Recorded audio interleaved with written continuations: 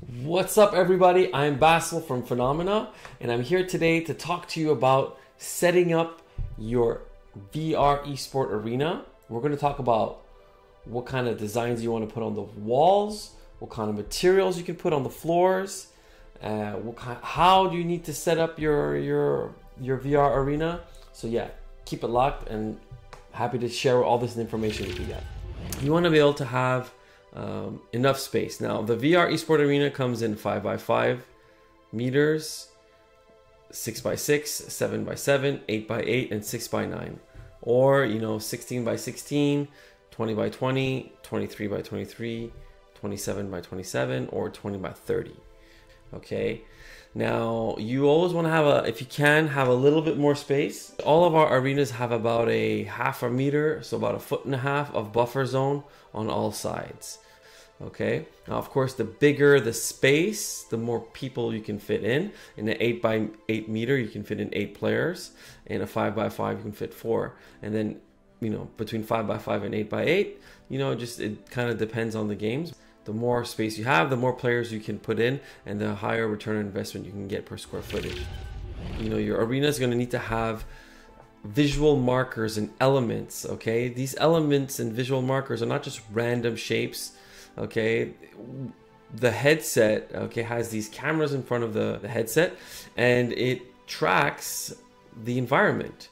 And how does it track? Well, it has image recognition and it recognizes corners, shapes, and patterns, right? So you don't want to have like repetitive repetitive patterns.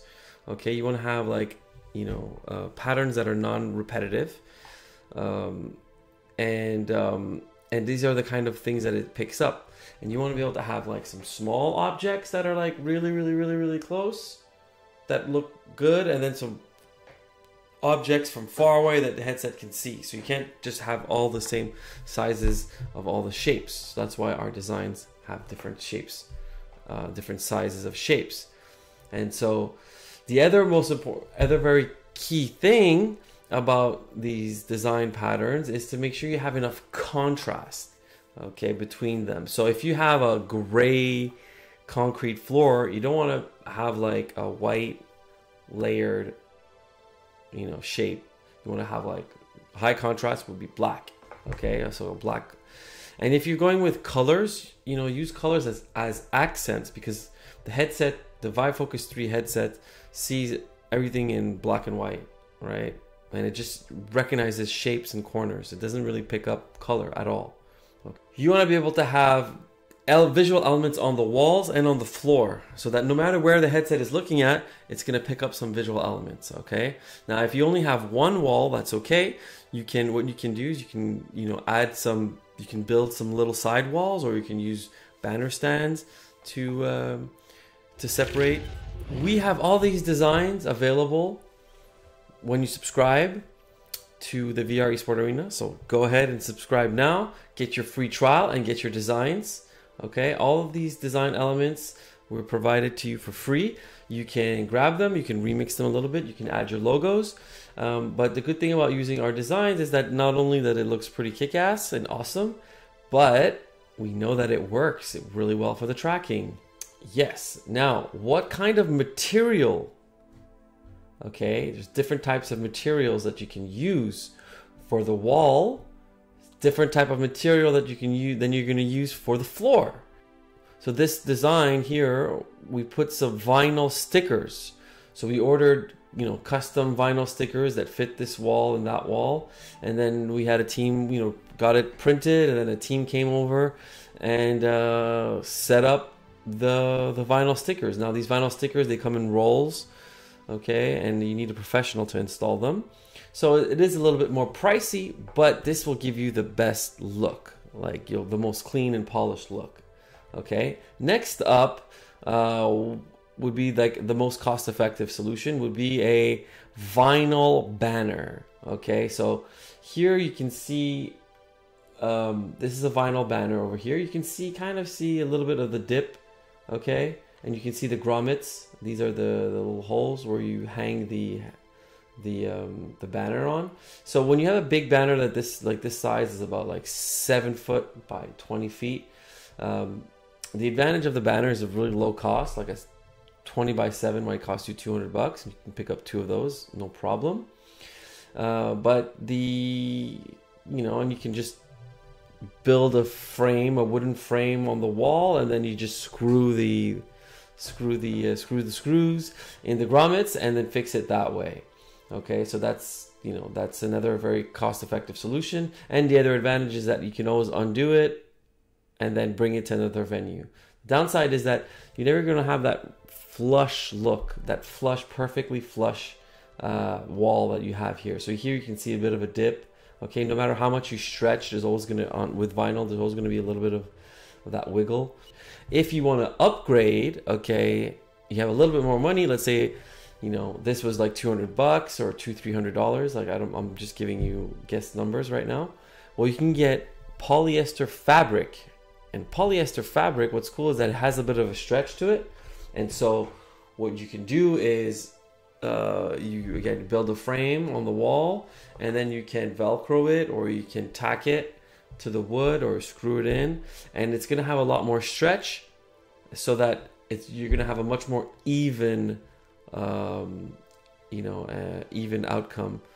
But you can always like remove it and then transport it very easily. The fabric and then you can then just you know steam the fabric and um, and then you're good to go then set it up at the next venue. Now the flooring is a little bit more complicated but essentially there's three types of flooring that i'd recommend okay the most durable one is what I, is what we call reverse print uh, vinyl flooring okay and so this kind of floor is you know they print a, of like a vinyl, like a little thin vinyl. You know, they print the image, they stick it to the bottom of a thin layer of plastic or vinyl plastic or vinyl, and then uh, they roll it up, and then you install it, and you will never. That will last you pretty much almost like a lifetime because everybody who's going to be walking on it on this floor is going to be just walking on that little layer, like that about two millimeter layer of uh, of vinyl, so it protects the design. The next vinyl flooring that I would recommend is top print. Now, top print usually you have a very thin plastic coating. You have they print it.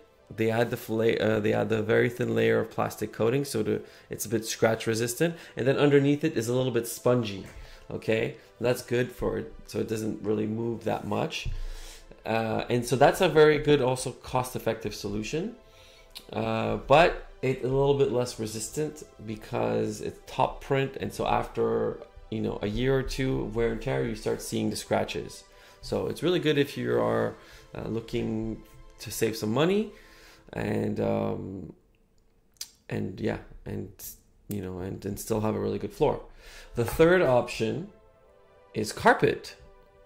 Now, carpet uh, is actually around the same price range as the um, as the top print flooring, and so and there are many advantages to that to this one where you know the the carpet is a little bit less expensive. It offers some protection if your headsets or controllers fall or if a user falls on the floor. It adds a little, uh, you know, has a little bit of a layer, little carpet.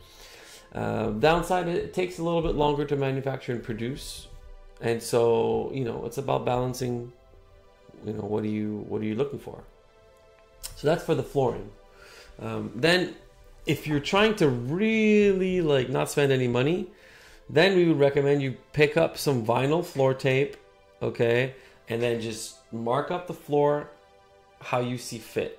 Okay, just here's the design elements that we have here, and you can just mark up the floor, uh, or if you want to do a temporary setup, you you know you get some black and white, some black vinyl floor tape, some white vinyl floor tape, and then you just start piecing together different shapes and size uh, shapes in the in the play space. Okay, and we have some cool examples over the years of some of our clients doing some really cool stuff with the vinyl floor and uh, they also did it on the walls as well.